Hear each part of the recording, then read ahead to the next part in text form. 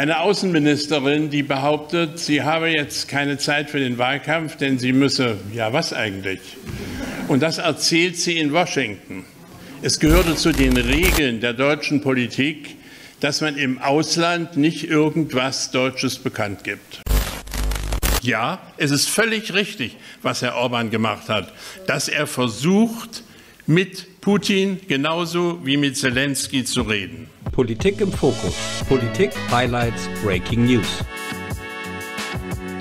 Politik im Fokus. Herzlichen Dank für den Empfang. Es lag nicht an mir, dass es so spät geworden ist. Es war wie üblich der deutsche Verkehr. Ähm, ich bin gebeten worden, und damit will ich gleich in Medias Res kommen, ich bin gebeten worden, etwas zur Außenpolitik, zu Russland, zu den Kriegen zu sagen. Also heute nicht zu den Flüchtlingen, das nehme ich an, haben Herr Orban und Herr Hilse schon äh, gesagt und da sind wir ja alle einer Meinung und in den anderen Fragen sind wir auch einer Meinung. Aber ähm, das Problem, das wir im Moment haben, sind halt zwei Kriege in der Welt und einer in Europa. Und ähm, ich glaube, man muss am Anfang mal ein paar Worte zu unserer Außenministerin sagen. Die Reaktion völlig verständlich. Eine Außenministerin, die behauptet, sie habe jetzt keine Zeit für den Wahlkampf, denn sie müsse, ja was eigentlich? Und das erzählt sie in Washington. Es gehörte zu den Regeln der deutschen Politik, dass man im Ausland nicht irgendwas Deutsches bekannt gibt. Und sie erzählt in Washington, dass sie jetzt sozusagen nicht Spitzenkandidatin sein will.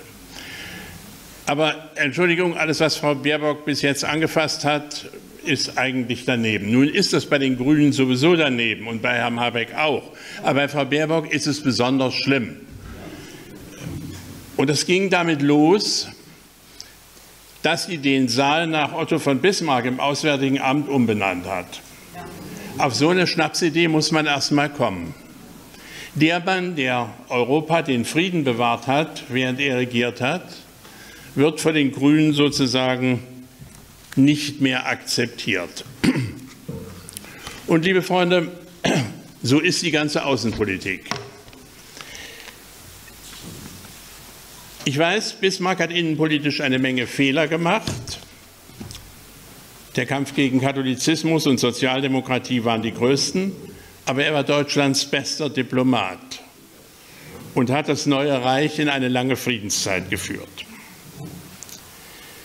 Wir haben nicht so viele äh, Leute, an die wir uns erinnern sollten historisch. In der schwierigen Geschichte, die wir als Deutsche durchgemacht haben, haben wir eigentlich nur drei Außenminister gehabt. Ich sage jetzt mal salopp, die was getaugt haben. Das war Otto von Bismarck, das war der leider ermordete Walter Rathenau, der den Frieden mit der Sowjetunion 1922 hergestellt hat und das war Gustav Stresemann, der 25 den Ausgleich mit dem Westen gesucht hat. Diese Tradition abzuräumen, weil der märkische Juncker nicht ins Weltbild einer grünen Außenministerin passt, äh, liebe Freunde, meine Damen und Herren, das ist zutiefst schäbig.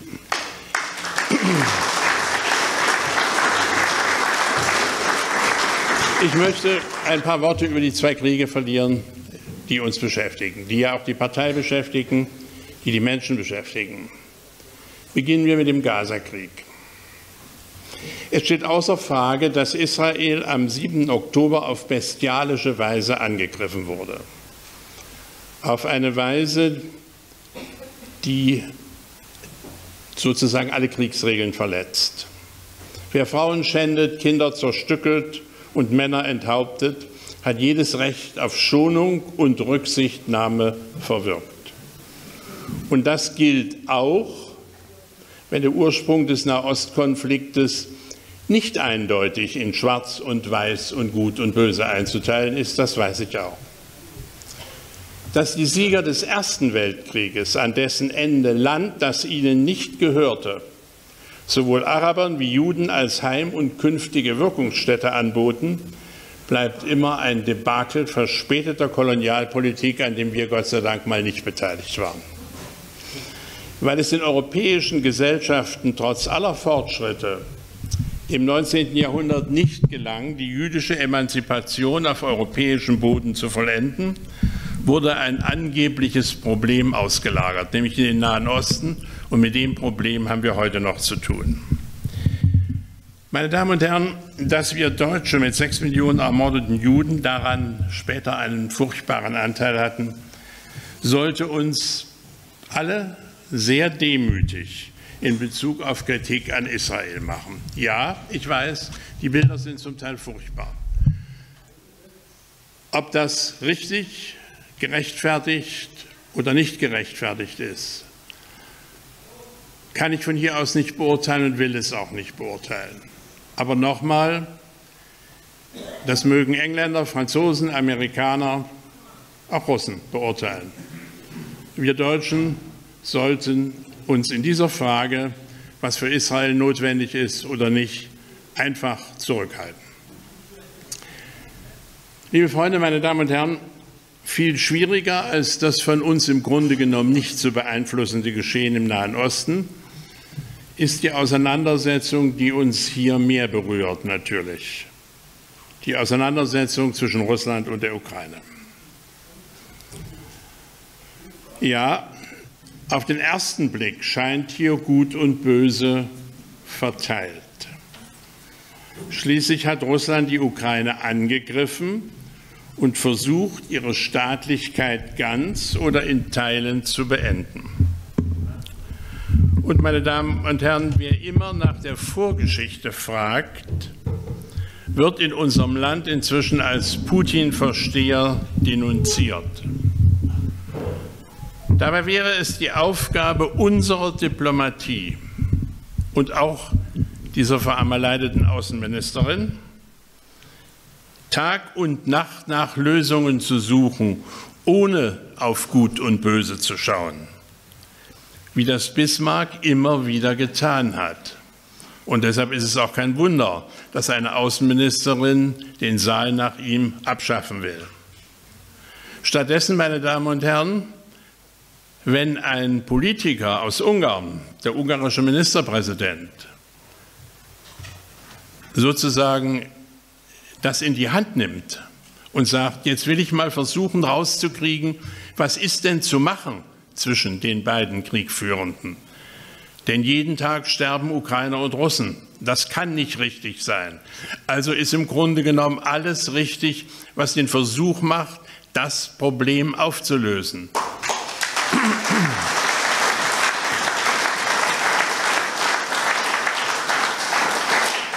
Und was hören wir? Von unseren Politikern Kritik, aber leider auch von anderen europäischen Politikern. Ja, es ist völlig richtig, was Herr Orban gemacht hat, dass er versucht, mit Putin genauso wie mit Zelensky zu reden. Meine Damen und Herren, und ich muss in diesem Zusammenhang noch etwas sagen. Das ist nicht unser Krieg und er geht uns eigentlich auch nichts an.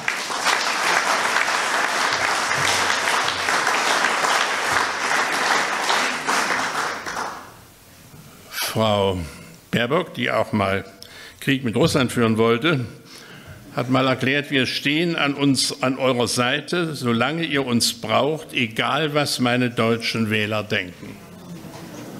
Liebe Freunde, das ist der Grund, warum diese grüne Außenministerin weg muss.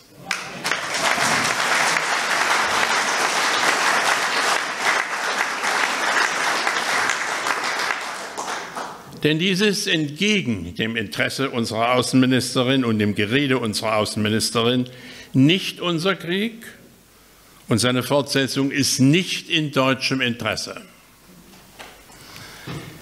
Zelensky will uns in einen Konflikt hineinziehen. Verstehe ich, würde ich an seiner Stelle auch machen, wenn ich für die Ukraine sprechen würde. Ist doch völlig klar. Denn nur wenn wir hineingezogen werden, wenn die NATO hineingezogen wird, Nur dann hat er eine Chance, das zu überstehen und zu gewinnen. Aber es bleibt trotzdem falsch. Es ist nicht unser Krieg und wir müssten alles tun, dass zwischen Russen und Ukrainern wieder Gesprächsfähigkeit hergestellt wird. Ich rede noch gar nicht vom Frieden, ich rede von Gesprächsfähigkeit.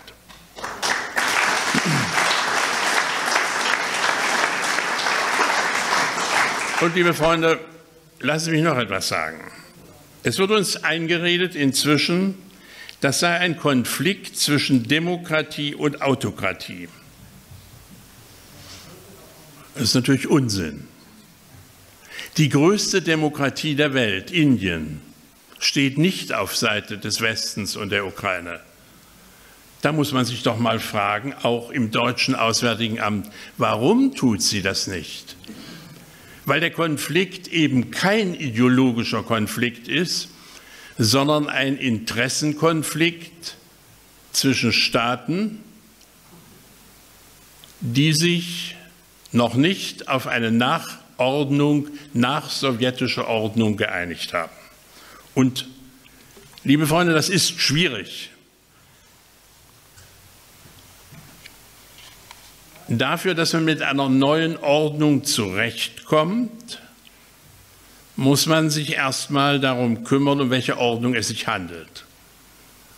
Stattdessen beschäftigen wir uns mit äh, feministischer Außenpolitik, Radwegen in Peru und erklären, dass wir irgendwelche Werte verteidigen müssten. Nein, liebe Freunde, es geht nicht um Werte, es geht darum, den Krieg in diesem Gebiet so weit wie möglich durch unsere Vermittlung zum Erliegen zu bringen. Und da muss ich auch ganz ehrlich sagen, wenn der Fraktionsvorsitzende der SPD sagt, man solle das einfrieren und alle anderen schreien, das sei falsch, kann ich nur sagen, auch wenn ich kein Sozialdemokrat bin, da hat er recht, der Fraktionsvorsitzende.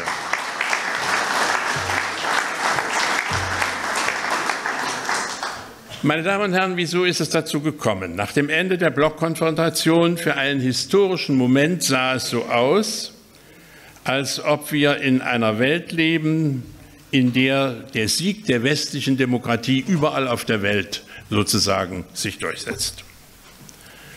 Doch dieser Moment ist längst vorbei. Wir leben in einer multipolaren Welt, die keine universellen Werte und Normen mehr hat. Das ist nun mal so. China lebt nach anderen Regeln und Gesetzen und auch Russland lebt nach anderen Regeln und Gesetzen. Westliche Werte sind richtig als Vorstellungen innerhalb des westlichen Lagers. Wir können damit weder China noch Russland sozusagen für diese Ordnung gewinnen. Und es kann auch nicht darauf ankommen, was die Menschen in China und in Russland für eine Ordnung aufbauen wollen. Das ist ihre Aufgabe. Und es ist nicht Aufgabe der Amerikaner, der Briten oder der Deutschen, das in irgendeiner Weise zu verhindern.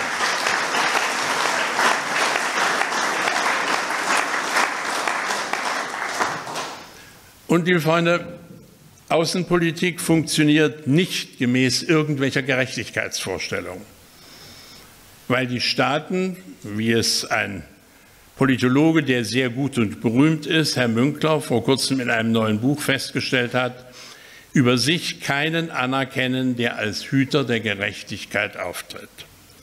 Und das ist, liebe Freunde, immer so gewesen. Malta und Luxemburg sind nicht dasselbe wie Russland, Frankreich oder Amerika. Das ist nun mal so. Die Staaten handeln gemäß ihren Interessen und nicht nach demokratischen Spielregeln. Und deswegen haben sie eben kein Recht, ein freies Bündnis zu wählen. Ja, nach der ähm, Ordnung äh, der UN-Vollversammlung ja. Aber die USA haben 1961 auch nicht erlaubt, dass Kuba Raketen aufstellen konnte, die die USA in wenigen Minuten erreichten. Und die USA haben seit 1823, seit der Monroe-Doktrin immer gesagt, Auf unserem Kontinent gibt es keine neuen europäischen Mächte, die hier was zu sagen haben. Das hat auch nichts mit der UN-Charta zu tun. Und es ist trotzdem richtig, dass wir 1961 die USA darin unterstützt haben, dass sie den Versuch beseitigte, auf dem Boden Kubas Raketen, die in drei Minuten New York erreichen können, ähm, aufgebaut haben. Und genauso, meine Damen und Herren, hat Russland das Recht, die Frage zu stellen, ob die Ukraine in die NATO darf. Ja, rein formal darf sie es. Aber es ist völlig falsch, dass eine Nation den Versuch macht, einer anderen großen Nation sozusagen etwas aufzudrängen. Also muss man von uns aus den Versuch machen, dieses zu entspannen und nicht durch neue Politik, neu sozusagen immer wieder den Versuch zu machen, jetzt muss auch die Ukraine in die NATO und wir müssen dies dann sichern. Wir müssen sozusagen das ukrainische Territorium sichern. Und meine Damen und Herren, da sind wir leider bei der Vorgeschichte des Russlandkrieges, des Ukraine-Krieges. Ich habe gesagt, das hat eine Vorgeschichte. Und es ist eben nicht einfach so, äh, dass Herr Putin in der Ukraine eingefallen ist, weil ihm sonst nichts anderes eingefallen ist. Ja, es ist vieles umstritten. Aber eins ist nicht umstritten. In den Wiedervereinigungsverhandlungen 1989 ist in vielen Gesprächen, die Herr Genscher bestätigt hat, die Herr frühere Außenminister James Baker bestätigt hat, die ähm, der frühere äh, britische Außenminister Hurt bestätigt hat, ist gesagt worden, wir dehnen die NATO nicht über die ehemalige DDR, also uns hier aus. Ich will nur ein Zitat vorlesen von dem damaligen britischen Außenminister Hurt. Ich habe das selbst, das habe ich schon mehrmals gesagt, von Horst Teltschik, dem deutschen Verhandler, gehört, der natürlich nicht sozusagen der Bestimmende war, sondern äh, das Objekt, denn zu bestimmen hatten die vier Siegermächte, einschließlich der damals noch bestehenden Sowjetunion. Von dem britischen Außenminister Hurt stammt die Feststellung, und das kann man überall nachlesen, in der NATO gibt es keine Pläne, die Länder Ost- und Mitteleuropas in irgendeine Form in die NATO aufzunehmen. Das Gegenteil davon haben wir gemacht. Ja, die Ordnung hat sich geändert. Damals gab es noch den Warschauer Pakt. Und da war diese Frage der Aufnahme in die NATO sozusagen nicht aktuell. Aber wenn sich so etwas ändert, dann muss ich mit Russland versuchen, einen Weg zu finden, wie eine gemeinsame neue Friedensordnung in Europa gebaut werden kann. Ich kann nicht den Versuch machen, die russische Großmacht zu versuchen, aus Mitteleuropa herauszudrängen und im Grunde genommen äh, das, was man mal, ich will nicht sagen verpflichtend zugesagt hat, aber das, was man in den Verhandlungen, wo man sich in den Verhandlungen einig war, dass man das einfach vom Tisch gibt. Und das ist genau der Fehler.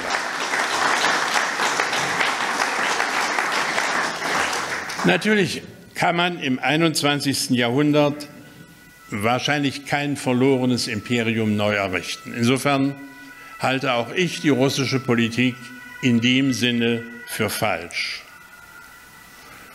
Und sollte die Ukraine diesen Krieg nicht vollständig verlieren, dann hat ihr Putin durch seinen Angriff erst jene Identität verschafft, die sie vorher nie wirklich hatte. Denn die Ukraine ist ein Land, das 1918 kurz vor dem Ende des Ersten Weltkrieges unter deutscher Hilfe gegründet wurde, unter damals noch militärischer kaiserlicher Hilfe. Wie immer dieser Krieg ausgeht, Russland bleibt der große Nachbar im Osten, genauso wie er für Bismarck war. Und wir Deutschen tun gut daran, mit diesem Nachbarn auch wieder in ein vernünftiges Gespräch zu kommen.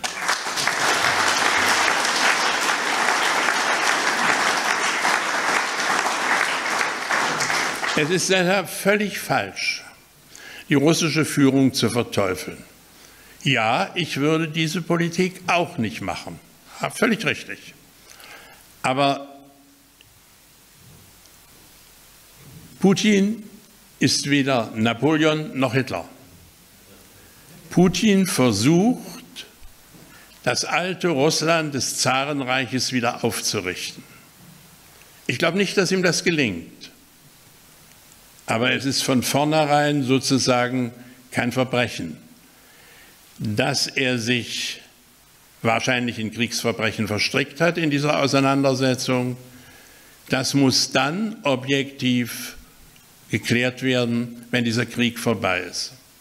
Also können wir nur ein Interesse haben, dieser Krieg muss bald vorbei sein und wir müssen alles dafür tun mit unserer Politik, dass er vorbei ist und dass beide zur Vernunft kommen.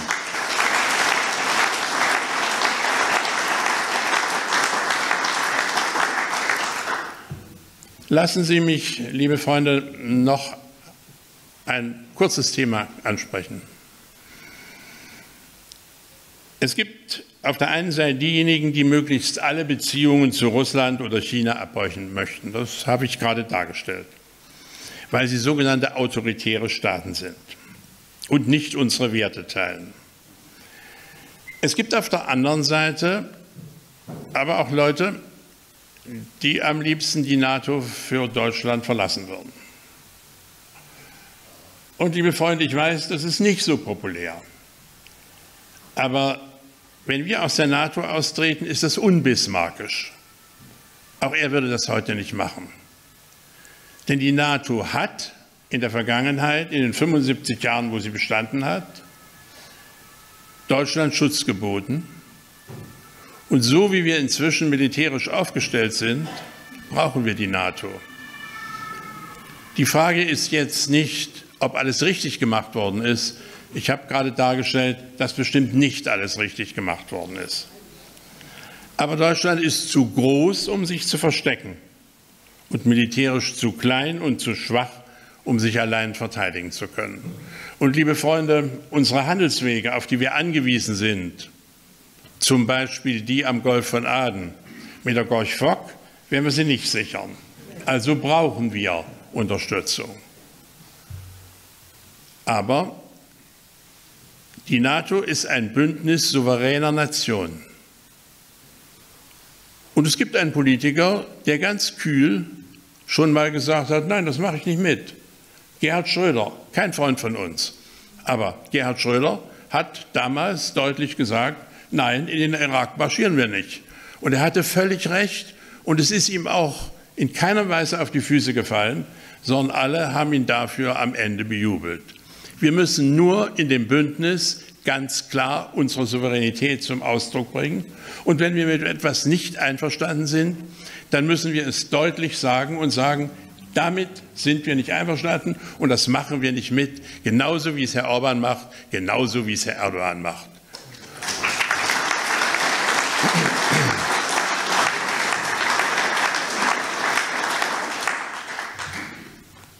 Und liebe Freunde, wir müssen immer auch an unsere Vergangenheit denken. Wenn Deutschland heute sozusagen aus Trotz aus der NATO austreten würde, würde das Gerede unserer Nachbarn losgehen, ach, Deutschland ist wieder auf dem Sonderweg.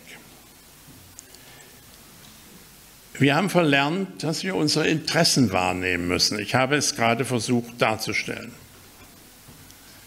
Die anderen nehmen ihre Interessen wahr. Und liebe Freunde, ich möchte nicht sehen, wie Deutschland alleine dasteht, wenn ich mir angucke, was sonst so noch geschieht. Vor kurzem sollten wir noch Reparationen in Billionenhöhe von unseren polnischen Freunden zahlen. Liebe Freunde, abgesehen davon, dass diese ganze Reparationsfrage erledigt ist, wenn mir jemand sagt, wir sind von Freunden umgeben, bin ich sehr vorsichtig. Wir sind nicht von Freunden umgeben, sondern wir sind von anderen Ländern umgeben, die eigene Interessen haben. Das hat ein Mann wie Bismarck klar gesehen. Unsere Politiker wollen das nicht mehr sehen. Und deswegen, wie ich auf der einen Seite klar sage, wir müssen unsere Beziehungen zu Russland weiterführen in dem alten bismarckischen Sinne und wir dürfen die Führung Russlands nicht verteufeln, sage ich auch, es tut uns gut, wenn wir in der NATO bleiben und unseren Partnern auch deutlich sagen, nein, das ist mit uns nicht zu machen, das wollen wir nicht. Das wäre klare deutsche Politik.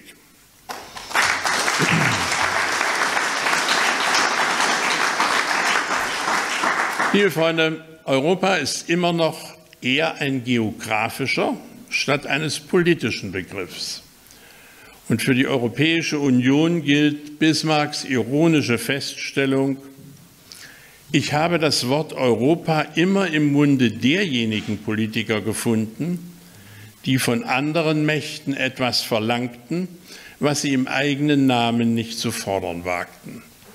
Die Welt hat sich nicht sehr verändert und sie wird sich auch nicht verändern, denn der Versuch, sozusagen eine Ordnung herzustellen und Staaten, die völlig unterschiedliche Interessen, ja auch unterschiedliche Größe, Macht und Einfluss haben, sozusagen in eine einzige, ein, ein einziges Korsett zu zwingen, wird niemals funktionieren. Und deswegen, liebe Freunde, am Ende noch ein Bismarck-Wort. Die Pflicht des Staatsmanns ist es, den Staat von ideologischen Mächten und gesellschaftlichen Kräften unabhängig zu halten.